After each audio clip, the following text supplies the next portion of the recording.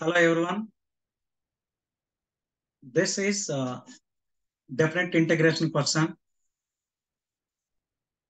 based on definite integral limitizer sum, infinite limitizer sum.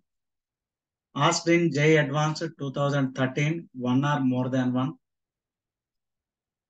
The specialty of this question is, even though the students have solved the question, but at the final, many people may commit the mistake in choosing the options. That is lack of the basic concepts. So here you see, of course, we can solve the question, but at the end, at the final, we must see that what are the possible values of A. So before we discuss this question, what we need is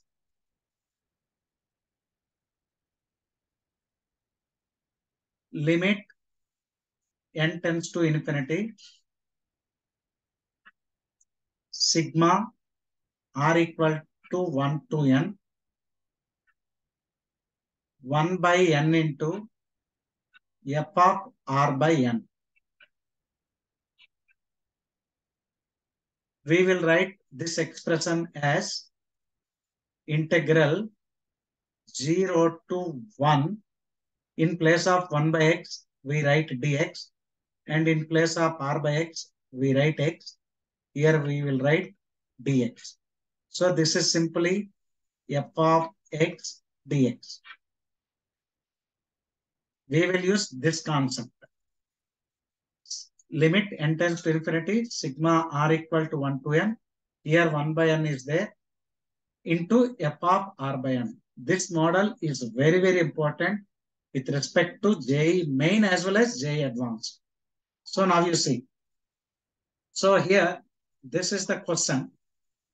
Limit n tends to infinity, some expression they have given equal to 1 by 60. And uh, they are asking the possible values of A. Okay. So now what we have to do is, I'll just rewrite this equation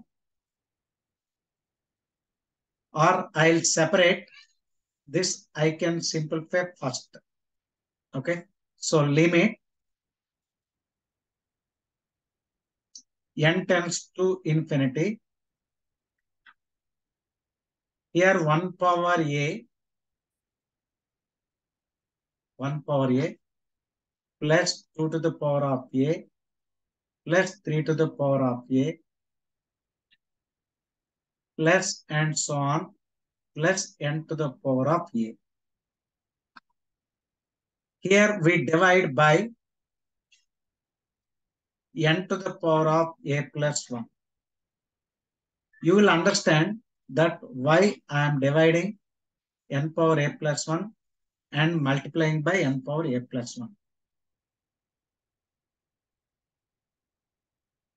Whole by n plus 1 power a minus 1 bracket begins. Here you see this is NA, NA, NA. So NA, NA, NA is added n times. Okay. So that is n times of NA plus 1 plus 2 plus 3 plus and so on up to n. given that this is equal to 1 by 60. Well, now, so what we have to do is, again, I'll write one more step. Limit n tends to infinity. Okay. So I will take this expression as some p. This expression as some p. Okay. So I'll write that expression as taking p limit n tends to infinity 1 power a plus 2 to the power of a plus 3 power a plus and so on plus n to the power of a whole by n to the power of a plus 1. this is one limit into limit n tends to infinity. Okay. So here this n to the power of a plus 1, we write here n to the power of a plus 1 whole by. In this, I will take 1 n common.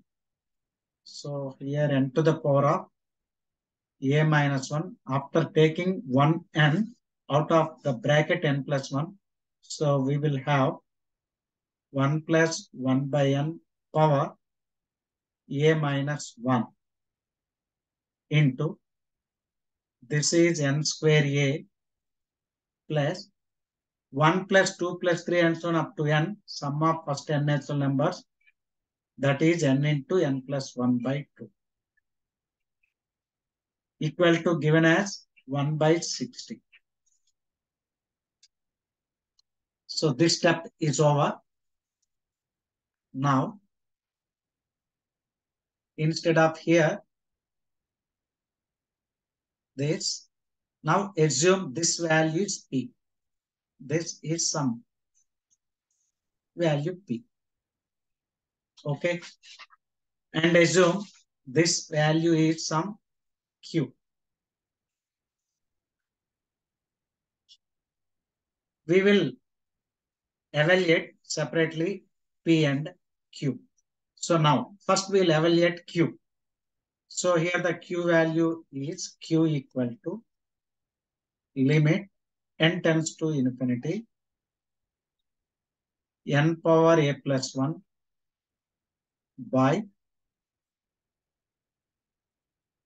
n to the power of a minus 1. Okay.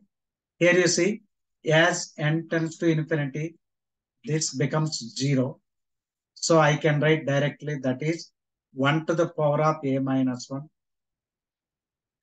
Here you take one n square common, n square into here a plus 1 plus 1 by n whole by 2. Now you see here n square we have n to the power of a minus 1. Together the exponent will be a plus 1. So this can be cancelled together, right? So this is equal to, as n tends to infinity, 1 by n tends to 0. So you will get 1 by a plus 1 by 2. This is equal to 2 by 2a plus 1. So we got the value of q. Now, where we will use